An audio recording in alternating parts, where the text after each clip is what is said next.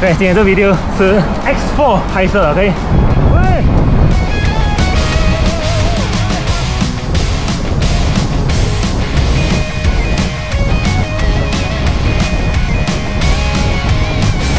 OK，朋友们，这次来介绍这个 Insta360 X4，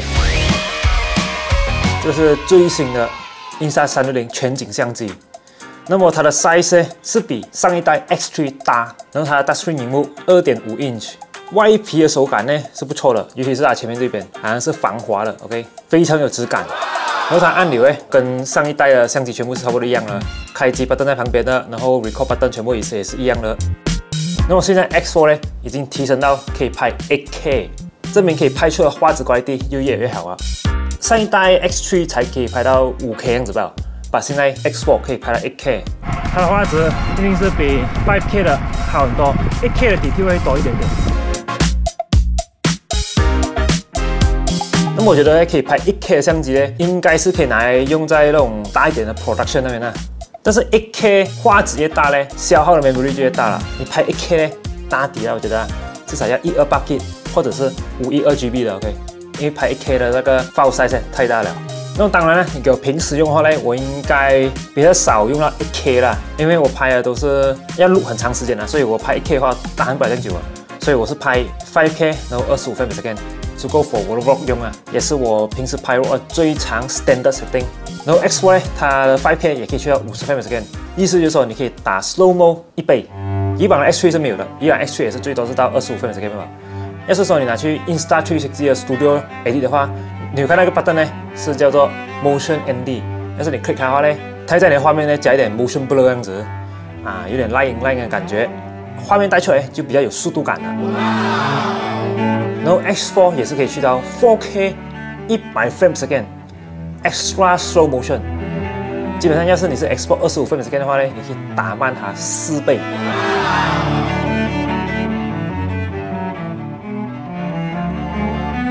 然后单面镜头呢，也是可以拍到 4K 或者是一零八零 P，frame per second 呢都可以去到五十至六十样子。那么以我的 shooting 的方式来讲呢，我建议大家啦，最好要 sharpness 全部调去 low，要是 high 的话呢，我会觉得有点不自然啊。low 的话或者 medium 都 OK。然后它 X4 收音呢也是不错的，OK。首先我是挂在我们的下面，然后看下现在这样打一对风啊。有什么效果？不过我觉得它的声音啊，它比之前前几代的那个麦克风做很好，尤其是 Win 顶端上面，我觉得收音哦比较 solid 一点。那么整台相机的基本操作呢，其实跟 X3 差不多一模一样吧。比如说开机是旁边这边呢，上面滑下来呢就是看 setting，右边滑去左边呢看相机的 setting 啊，然后上面滑下去呢也是看那个 resolution 的 setting，然后左边滑过去右边呢就是看 replay back 啊。基本上操作跟 X3 一模一样的，只是里面多一些 function，或者是呃改了一些 function。那唯一一个 setting 它有 improve 到就是它的 quick capture，它的 quick capture 已经不像是以往的 X3。X3 哦，你是一按 record button 哦，它就会自己直接拍 5K 三十 frames again。但。是现在 X4 呢，它已经做到可以记住上一个 setting，那你现在直接按 record button 的话，它可以跑回去上一个 setting，或者你可以 customize setting 啊，比如说每次开机你需要它拍 1K 二十五 frames again 都可以。所以现在那个 Quick Capture 已经是增加很多 function，比较 user friendly 啊。那现在这个 X4 它的那个 stabilizer 已经不用再调整了，它已经 auto 拍在全部 video 里面。毕竟我们没有人要会用那种很 shaky footage 嘛，是不是？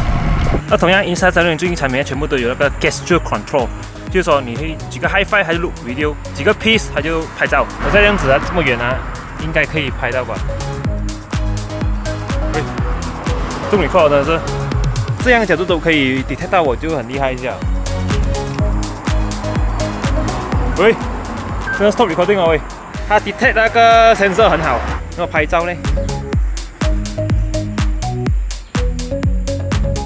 哎，哦，拍了，真的拍了。哇哦，所以它现在的 gesture control sensor 真的是很厉害，很棒，很方便啊。不过这东西我也是看情况用。要是说我拍那些夜嗨拜那种 footage 的话哦，就不适合了，因为随时每个人一举个 high five 吧、啊，就是 shot recording 了。如果你是自己拍自己的话呢，手上没有什么机会按 button 的话呢，那你就可以做这个 gesture 的这个 control。然后也要介绍一下它的 Insta 三六零 app，它增加有一些 function，比如说有个 function 叫做 quick editing，当你拍完一个全景画面的时候，你可以拿你的手机哦，这样子来偏去，tilt up tilt down，它就直接 record 你的 motion，apply 在你的 footage 上面。所以然后你就不用慢慢一个个 manual manual 去 key frame 好了。然后还有另外就是 AI edit，这个是一个 button 一按，然后它就帮你加音乐啊，做那些 motion 啊，是非常方便的。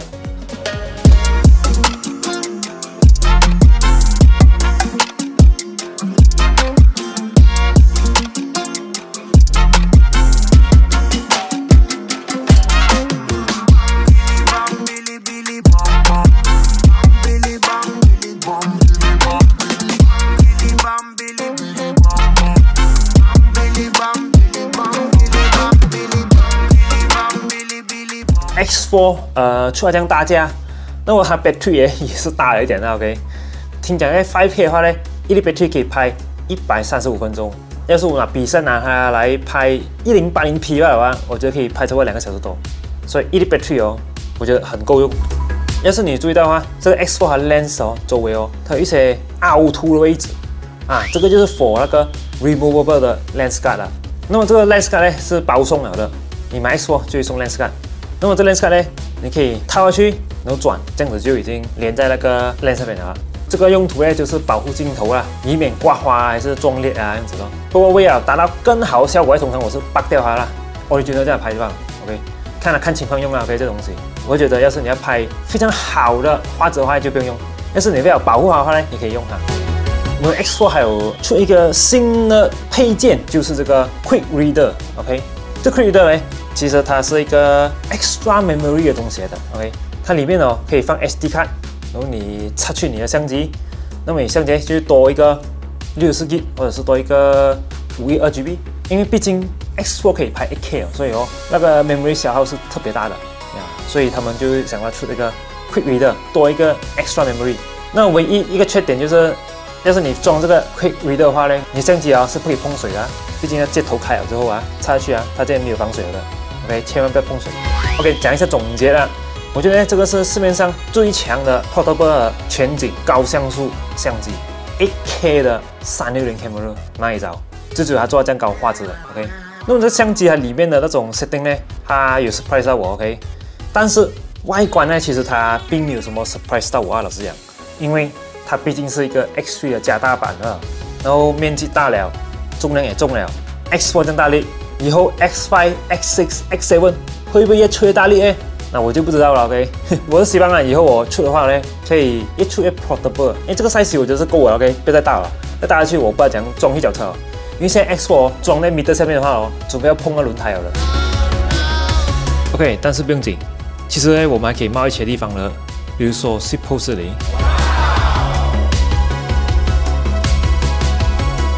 但是整体来讲，哎我是满意的，毕竟啊里面那种收音都好了，画质也好很多设备声就好很多，然后你可以拍一些 slow motion 样子，我是觉得很好玩了的。OK，那么大家如果要有兴趣想要买这个 X4 的话，可以到我 description 下面了解更多详情。OK，X4。